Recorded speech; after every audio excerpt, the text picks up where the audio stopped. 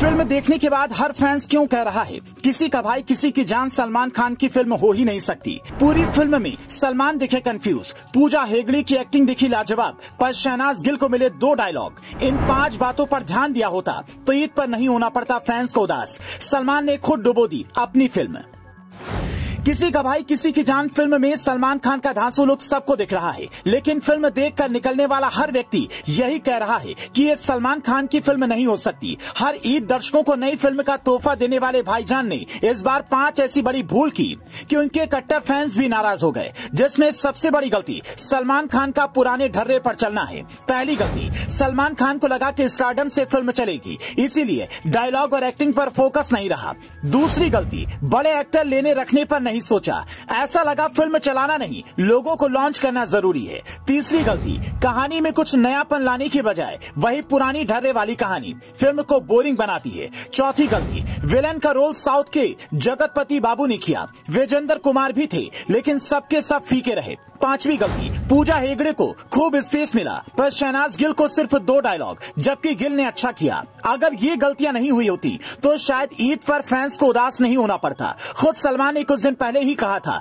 कि मैं ईद पर अपने फैंस को रुलाना नहीं चाहता, पर इससे ज़्यादा रुलाने की बात और क्या हो सकती है? कि आप एक स्टार हैं। आपकी मूवी का लोग सालों से इंतज़ार कर रहे थे, पर आपने फैंस की उम्मीदों का बिल्कुल ध्यान नहीं रखा। अगर सलमान की ये फ़िल्म ओटीटी पर आती तो शायद चल भी जाती, क्योंकि सिनेमा हॉल में टिकट टिकट लेकर और दो घंटे वक्त देकर।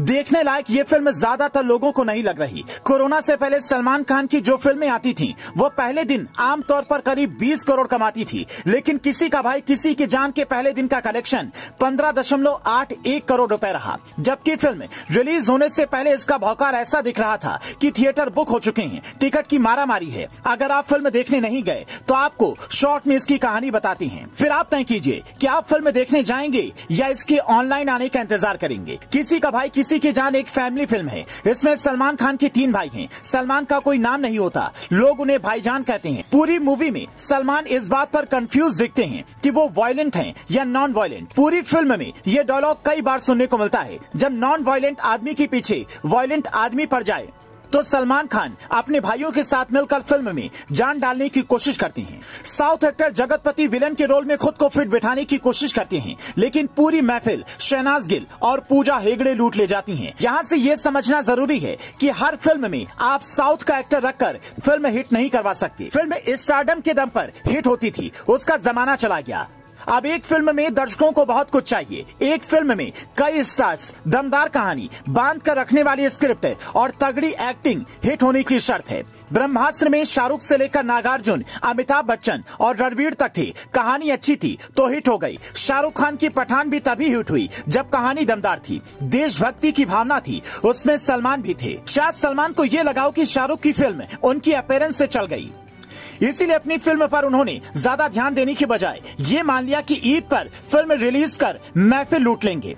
पर हर स्टार को ये बात अब याद रखनी होगी कि इक्कीसवीं सदी और ओटीटी के इस जमाने में अब दर्शक काफ़ी चतुर हो चुके हैं। उन्हें जो पसंद नहीं आएगा, वो सीधा रिजेक्ट करेंगे। फिर चाहे उसमें स्टार कोई भी हो, चाहे कितनी भी बजट की फ़िल्म हो, अगर आप सलमान खान की ये फ़िल्म देख कर आए हैं तो हमें इस फ़िल्म की अच्छी चीज़ें कॉमेंट में बताएँ, क्योंकि हमने ये बता दिया कि फ़िल्म पिटने की वजह क्या रही।